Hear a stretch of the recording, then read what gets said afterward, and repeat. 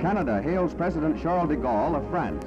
In the high point of his four-day visit, the World War II leader of Free French forces lays a wreath at the cenotaph in Ottawa, the National War Memorial, an essential of protocol for every visiting dignitary, but a ceremony that takes on deep meaning performed by an old ally and comrade in arms.